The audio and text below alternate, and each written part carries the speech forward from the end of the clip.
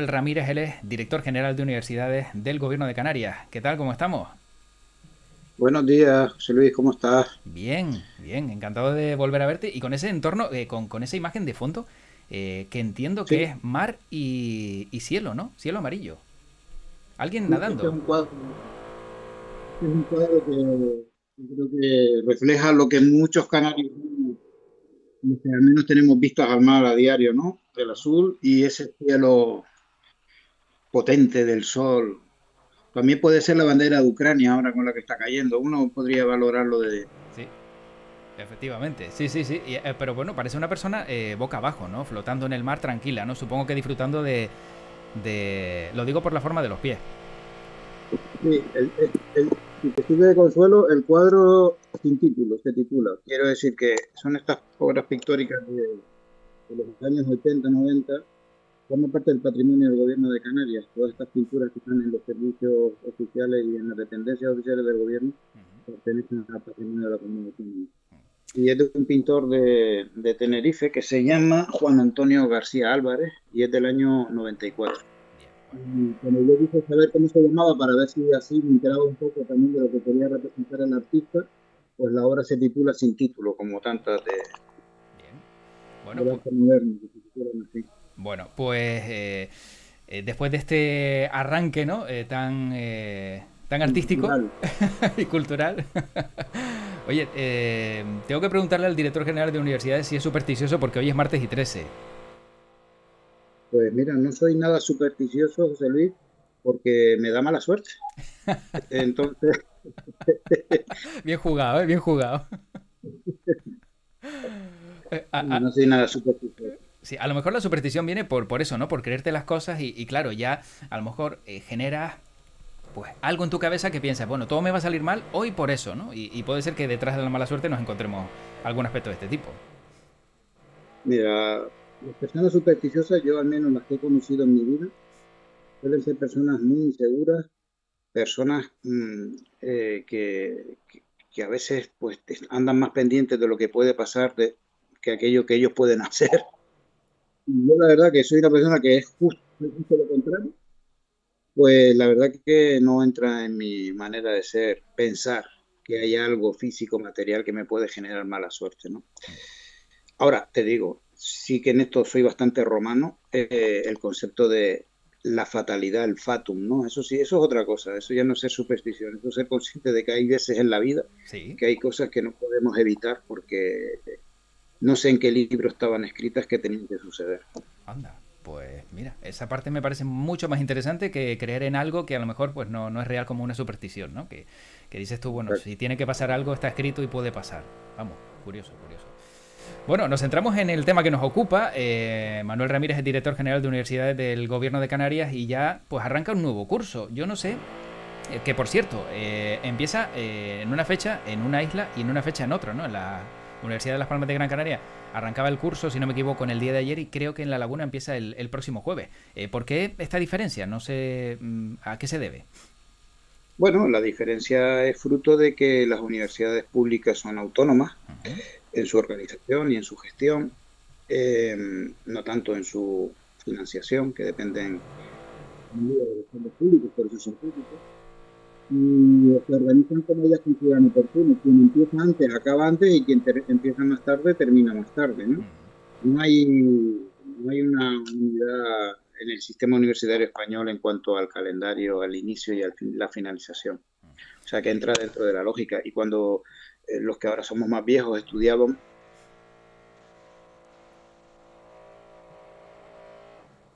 eh, adelantado. Te, he perdido ese último momento, eh, he perdido la comunicación. Decía, los que somos más viejos que, ya no estudiamos, decías, porque esa parte no se escuchó. Que hace 30 años, y quizás no tanto, incluso hace 20 años, las clases empezaban en octubre. Fue con la incorporación de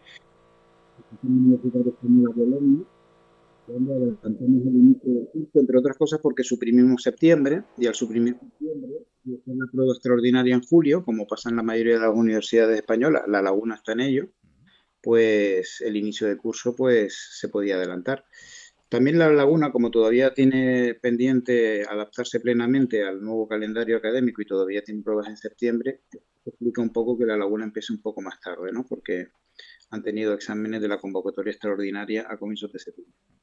Bueno, y en el arranque de la Universidad de Las Palmas de Gran Canaria, todo en orden. No sé si eh, ha seguido ese arranque Manuel Ramírez y, ha visto, pues no sé, que todo ha transcurrido con normalidad, o esa parte no es su competencia, el, saber cómo ha sido el arranque universitario en, alguna de las dos. Mi competencia es saber lo que pasa. Eh, otra cosa es que sea mi competencia actuar para que las cosas sucedan de otra manera. Eh, es competencia de las universidades. El, el, comienzo de curso ha sido normal. Eh, como, como no podía ser de otra manera, porque estamos hablando de algo que sucede desde hace ya muchos años en la Universidad Pública de Las Palmas de Gran Canaria, que ya tiene una trayectoria de tres décadas, eh, pues evidentemente esto es como el Día de la Marmota, esto, esto es volver a iniciar un nuevo ciclo, ¿no? Eh, es un, son días muy bonitos porque los estudiantes de nuevo ingreso vienen muy ilusionados, para ellos es cambiar eh, de, un espacio que es el, centro de bachillerato a la universidad. La universidad todavía tiene esa aureola de, que, es un cambio de ciclo vital y los profesores también ilusionados por, empezar el nuevo curso. Es, la verdad que son días muy bonitos, eh, los inicios del curso. Y dentro de esos días bonitos, eh, ¿vamos a ver más alumnos, menos alumnos para este, para este curso académico? ¿Cómo han ido las matriculaciones? Bueno, las matrículas todavía no tengo los datos, sé lo que leo en la prensa. Eh, desde hace ya unos años estamos viendo cómo se están matriculando menos estudiantes. ¿no? Eh, sé si la tendencia de este curso va a ser la misma que el curso pasado o si va a haber un leve incremento. Yo espero que, haya un, un, incremento, evidentemente. Yo creo que lo importante es valorar el crecimiento en lo que se llama los estudios superiores. Y aquí lo que se está produciendo, Luis, es que ahora mismo hay gente que está optando por una formación superior, pero no universitaria, sino por una FP superior. Entonces, eso es lo que se está produciendo un poco en el ámbito universitario, que se está produciendo, pues digamos, un, cambio quizás en algunos sectores del estudiantado en esa horquilla de edad, 17, 18, 19 años, de emprender unos estudios superiores, pero no en el ámbito universitario, sino en la FP. ¿Y, y esto qué, puede tener detrás? Que a lo mejor consideran que si se hacen esos estudios superiores que no sean universitarios, no les va a resultar tan difícil, a lo mejor eh, es más asequible incluso encontrar trabajo. ¿Puede ser esa una interpretación? Bueno, eh, pues sí, a, corto plazo, evidentemente, en dos años puedes tener una formación que te permite incorporarte al mercado de trabajo. Además, la FP Dual es un proyecto muy ambicioso, va a suponer incluso un cambio en la forma habitual de realizar esos estudios para que los estudiantes puedan, al tiempo que estudian, tener unos ingresos. Eh, esto lo que va a obligar a las universidades, y hace tiempo que, me consta que están en ello, pero todavía no han dado pasos decididos en esa línea, es a que haya una comunicación muy potente entre la universidad pública y la FP eh, pública, de tal manera que los estudiantes, una vez terminan su FP superior, puedan si lo desean, continuar su formación ya en el ámbito universitario. Y esas pasarelas que tienen que ser bidireccionales es un proyecto que, tiene que materializarse. Ya hay comunidades autónomas que lo están haciendo y Canarias debe hacerlo. Me consta, porque tuve la ocasión de conocerlo personalmente, que en la etapa en que Carlos Guitián fue director general de universidades se intentó, él puso todo de su parte para que eso se materializara, pero hubo cierta resistencia en las universidades a que eso se produjera porque como dijo algún vicerrector, se iban a convertir los campos universitarios en institutos de FP. Y ese concepto a veces equivocado de la realidad, ese atrincheramiento en modelos que están superados y no ser conscientes de que el mundo camina hacia adelante, nunca camina hacia detrás, pues es lo que nos ha llevado a que Canarias cuando lo haga, mm. pues ya no sea una de las primeras comunidades autónomas en hacerlo, sino que posiblemente sea una de las últimas. Pero en ello estamos. Pero em, yo no sé si es erróneo el concepto de pensar que aquel que estudia en una universidad es, digamos, más elitista. E, eso eh, sigue estando en la cabeza de algunos, el, el, que, bueno, pues se va a dedicar a trabajar, que vaya al FP y el que a lo mejor quiere llegar un poco más, que se meta a la universidad. ¿Eso sigue existiendo? Sí, sigue existiendo en las familias, quizás más que en los propios y chicas. Yo creo que los jóvenes lo tienen muy claro. Todos son las familias, todos son los padres el entorno, el que genera esta manera de percibir la realidad. Para empezar, la universidad no es elitista, eso es lo primero. Y si alguna vez lo fue, no es lo que yo consigo. el concepto de universidad en España es un concepto bastante horizontal, bastante, o sea, se considera como un servicio público que el Estado brinda para que las clases eh, un profesor universitario como aquel que su padre no tiene más que los estudios básicos, ¿no? Ese, ese sentido de universidad pública en España que trae consigo pues que todas las universidades públicas en España sean muy parecidas sin ninguna esté en el top 50 de las mejores universidades del mundo, lo que pasa es lo que los expresiona de ningún tipo de políticos que España no es un sistema de excelencia ni de elitismo como el sistema norteamericano, tiene las mejores universidades del mundo y también las peores. España tiene un sistema universitario, digamos, medio de alta calidad y parangonable con el de cualquier país europeo. ¿Qué pasa? Que son los propios estudiantes los que se ven a veces influidos por esa manera de pensar de que la, la es menos que la universidad. Y francamente, no es así. De todas formas, sí es cierto que, y, lo digo porque he tenido oportunidad durante este, este verano, ¿no? De hablar con, jóvenes que ya están en esa etapa preuniversitaria, de hablar con ellos y, sentirse mm, completamente desorientados, de no saber qué estudiar, claro. Y dice, oye, es que tengo una edad eh, donde tampoco sé cuál va a ser mi futuro, donde a lo mejor la orientación no ha sido, aunque haya habido cursos y te hayan explicado para qué es cada carrera, claro, decidir algo tan importante a tan temprana edad para muchos se antoja eh, prácticamente pues un problema. Pues sí, pero bueno, yo creo que eso forma parte de, la forma de pensar de algunos millennials, no todos. Hay jóvenes que lo tienen eh, hijos de amigos, etcétera, que lo tienen muy claro lo que quieren ser y tienen una vocación, incluso estudian aquello que quieren estudiar en contra del criterio de los propios padres que les dicen, no, estudies eso, estás loco, estás abocado al paro y el, joven estudia lo que quiere. Eh, pensemos a que el pobre de la Comunidad de Madrid, creo que el que sacó la nota de la EBAU más alta este año, que como quería estudiar filología clásica, prácticamente lo lincharon en las redes sociales, ¿no? Eh, yo creo que hay gente que lo tiene claro y hay gente que no lo tiene claro. Entonces, la orientación que me dices es clara. Y ahí en los centros de, bachillerato es determinante la figura de los orientadores y, de las familias, ¿no? Pero yo creo que los, los millennials, ya que, ya que son tan, tan buenos en cosas relacionadas con las tecnologías, deberían ser conscientes también de que ellos mismos, a través de un montón de aplicaciones que tienen en la red, pueden ver cuál es ellos mismos, no necesitan que un orientador se lo haga, ¿no? Claro. Quiero decir, hay que ser reflexivo y pensar dónde me proyecto. Yo que nos decían de pequeño que quiero ser mayor.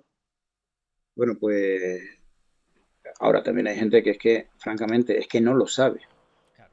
Yo creo que porque que se matriculan en una carrera, abandonan, luego pasan a otra y, claro, eso en términos de, de, la vida de una persona y de una familia es bastante dramático, ¿no? Que, que, tengas un chico o una chica de 20 años que ha pasado por tres titulaciones diferentes y que el padre y la madre no sepan exactamente dónde va a acabar, mm. eh, es dramático. Sí, porque al final también te, te, acabas desesperando, ¿no? Como estudiante piensas, dice, bueno, al final, ¿dónde me voy a meter? Ya he intentado en tres ocasiones esto y no, no encuentro mi, mi punto, ¿no? Para, para tener una carrera universitaria. Eh, hablemos de dinero, que yo sé que al director general de universidades, pues este tema, siempre que hablamos de financiación, pues bueno, eh, a lo mejor le, le, resulta un poco áspero, ¿no? Porque las universidades, no sé si siguen reclamando un poquito más, si están contentas con el dinero que tienen para este curso, ¿cómo están las cosas? Las universidades siempre piden más dinero. forma parte de, del recetario habitual. lo, normal es que las universidades lamenten, las universidades públicas me refiero, que no tienen recursos que los gestores públicos consideren que, que sí los tienen. ¿no? Eso entra dentro de lo, de lo habitual. El día que el sector público, en este caso un director de universidad, el que de que las universidades no tienen dinero y los rectores digan que sí que los tienen, ese día pues, se habrá vuelto del revés, ¿no? Entonces, digamos que lo normal en un inicio de curso consiste en, que los rectores, digamos, reclaman más recursos y están en su derecho y en su obligación de hacerlo, pero por parte de la administración eh, la obligación es que ese dinero público se, se, gestione de la mejor manera y que la sociedad tenga claro los recursos que se las universidades son los que cada comunidad autónoma puede y debe, eh, digamos, transferir. En este sentido, yo quiero dar la tranquilidad a la sociedad de que las universidades públicas canarias tienen los recursos económicos que necesitan y que están definidos en un modelo de financiación que se determinó en la anterior legislatura y que está vigente hasta el 2025. La pregunta es, si, si, hubiera más dinero, eh, ¿ese dinero se emplearía bien por las universidades canarias o, a lo mejor estaríamos eh, en un eh, sobregasto innecesario para, cada una de ellas? Vamos a ver, em, pasa lo mismo con la sanidad. Podemos ahora dejar de hablar de educación y hablamos de sanidad. ¿Es mejor sanidad aquella que tiene más dinero o es mejor sanidad aquella que gestiona mejor sus recursos económicos? ese es el debate. Yo creo que las universidades, cualquier euro adicional que reciban tiene que estar orientado a aumentar aquellos elementos, aquellos indicadores los cuales no están bien. Financiar por financiar y financiar de manera estructural sin saber exactamente si esto va a suponer una mejora o no en los servicios que prestan a los ciudadanos, ese es el debate. Entonces ahora mismo los rectores están un poco eh, en, el, en, la situación de que en el anterior y definido que garantizaba la estructural más dinero y la consejera está diciendo que vamos a ir a una financiación plurianual con un modelo basado en cumplimiento de objetivos orientados a la mejora de los servicios. Cada céntimo, cada euro que se inyecte en el sistema universitario canario adicional a los que ya cuentan, pues tiene que ir orientado pues, a una mejor oferta, a evitar que los estudiantes puedan estudiar a la península, eh, unos mejores eh, servicios para que los estudiantes no tengan que abandonar sus estudios, mejora en la investigación, en la transferencia a la sociedad. Por ahí va el modelo que se está diseñando y que en septiembre, ahora en las próximas semanas, nos reuniremos con los equipos rectorales para ya ir cerrándolo a adelantar el final del modelo actual, que es mejorable y que a nosotros tampoco nos gusta, antes del 25, si es posible a partir del año próximo o del 2024. Bueno, em, sí me gustaría también preguntarle a Manuel Ramírez sobre la situación de las universidades eh, y dónde se encuentran en el ranking de Shanghái, que es considerado, si no me equivoco, la, clasificación más prestigiosa a nivel mundial de los campus universitarios. Leyendo eh, información al respecto, la Universidad de La Laguna figura entre los puestos 701 y 800 y la Universidad de Las Palmas de Gran Canaria entre el 901 y el 1000, mientras que hay eh, universidades, 5 españolas que están entre las 200 primeras. ¿Por qué eh, estamos en el ranking en una posición tan alejada de otras universidades españolas? El sistema universitario español, aunque es bastante similar, no es igual, no es igual la Complutense de Madrid que la Universidad de La Laguna o la Universidad de Las Palmas, no es igual la Universidad de Barcelona que ninguna de las dos universidades públicas canarias. Quiero decir, hay un sistema universitario español con un grupo de cabeza donde están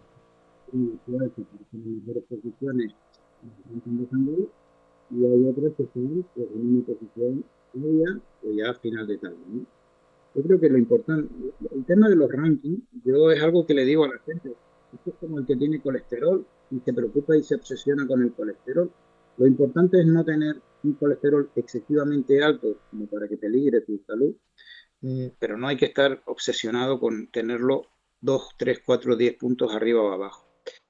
Las universidades públicas españolas, el sistema universitario español, es mayoritariamente público, salvo honrosísimas excepciones, y por suerte ninguna de las universidades públicas canarias están en él, están todas entre las mil mejores universidades del mundo.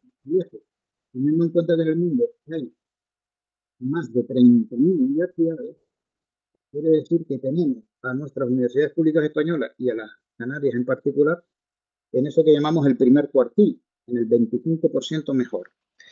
Ahora, que una esté 200 puntos arriba, 200 puntos abajo, es como te ponía el ejemplo de la salud personal de uno, no hay que obsesionarse. Tenemos un sistema universitario de calidad. Ahora bien, esto se está utilizando de manera torticera, de manera muy inteligente, digámoslo, por determinados sectores que lo que quieren es desprestigiar lo público en beneficio de la privada. Y en este sentido yo quiero decir lo siguiente. Solo hay una universidad privada española que está en el ranking de Shanghái, y es la Universidad de Navarra, y todas las demás universidades privadas españolas, incluyendo aquellas que gastan sumas eh, absolutamente mm, descomunales en publicidad y autobús, ninguna está en el ranking. Quiero decir, debemos estar orgullosos de esto que hemos pagado todos con dinero nuestro estudios, y es que tenemos un sistema universitario público español de calidad.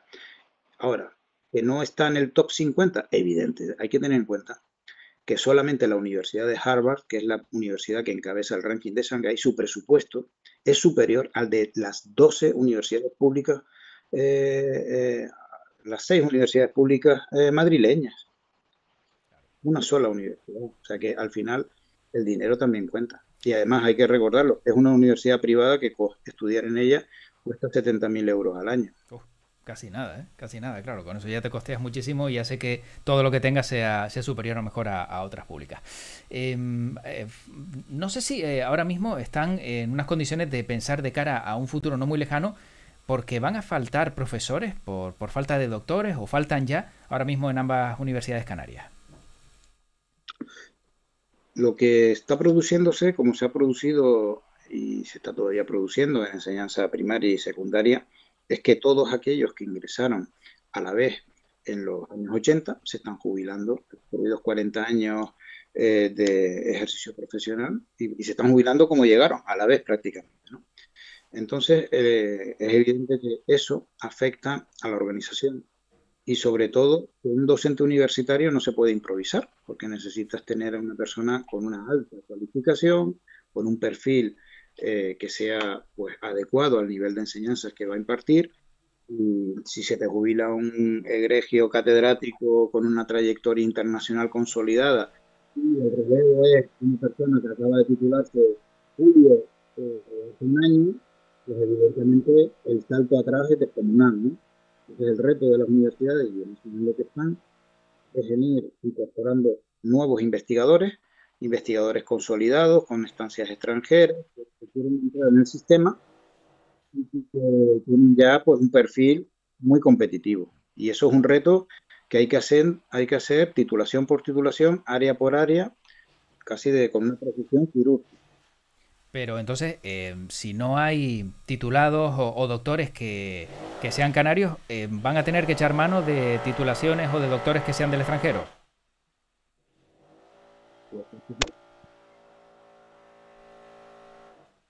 Hay una, universidad que iba donde está la propia hoy por hoy, ninguna universidad que presuma de ser excelente o que pretenda serlo está reclutando a sus profesores en la parroquia local en la que los talentos están donde están y hay que buscarlos. No si tienes alguien que ha formado en tu propia universidad y es excelente o muy bueno, lo reclutas y si no lo tienes, lo tienes que buscar fuera. Y eso es en lo que están. Mm, yo creo que hoy por hoy no hay ninguna universidad que esté buscando los profesores eh, según el código postal de su residencia. bueno, eh, bien explicado. Eh, para ir acabando, yo no sé si ahora mismo la relación del director general de universidades del gobierno de Canarias con los rectores de las universidades canarias es la mejor. ¿Por, qué punto pasa? los, los rectores son magníficos excelentísimos y magníficos señores rectores y este modesto director son los ilustrísimos. Entonces, las relaciones habituales entre los directores generales y los rectores son de absoluta confianza y de colaboración, pero cuando hay que discretar, se discreten, ellos conmigo, yo con ellos. Eh, lo importante es el objetivo común. Y eso lo tengo claro. El objetivo común tiene que ser mejorar el sistema universitario público cuando los rectores eh, nos presentan propuestas razonables basadas en ese principio, nosotros lo vemos, la colaboración es escrita. Y si vemos que no, coincide con lo que nosotros consideramos que es el interés general y que son propuestas que están más pensadas en el interés interno de la propia institución, de la propia sociedad canaria que las finanzas, pues es ahí donde podemos encontrar quizás conflictos, ¿no? Yo creo que lo importante es encontrar ese punto común, pero siempre en el máximo respeto. Y tanto la consejera como, como yo mismo con los rectores tenemos una magnífica relación de respeto mutuo, de colaboración, y así, así ha sido y así seguirá siendo. Bueno, la última. El año que viene vamos a ver pues elecciones, luego habrá cambios de gobierno, etc, etc. Vamos a ver a Manuel Ramírez quizá nuevamente repetir como director general de universidades, o por lo menos él lo desearía. Yo lo, que deseo es seguir haciendo lo que siempre he hecho José Luis, que es trabajar por, la educación universitaria y la investigación. ¿Dónde voy a estar? No lo sé. Ya te decía que ese concepto de la fatalidad y del libro escrito, yo no sé dónde voy a estar, no lo sé, ni siquiera sé si voy a estar eh, eh, al final de año vivo, quiero decir, nadie puede saber dónde va a estar.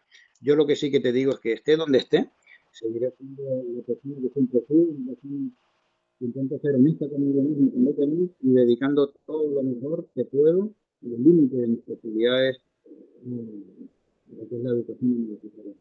De que dónde vaya a estar o no, eso ni siquiera depende de mí, sino de otros factores. Bueno, sea donde fuere, seguramente donde esté Manuel Ramírez eh, tendrá una magnífica labor y, estoy seguro de que tendrá más suerte que yo hoy porque esa fatalidad con el taladro se, ha cebado con nosotros, pero bueno, eh, yo creo que más o menos la, comunicación se ha, se ha, entendido lo que se ha dicho y ese era el objetivo de esta charla en el día de hoy, Manolo.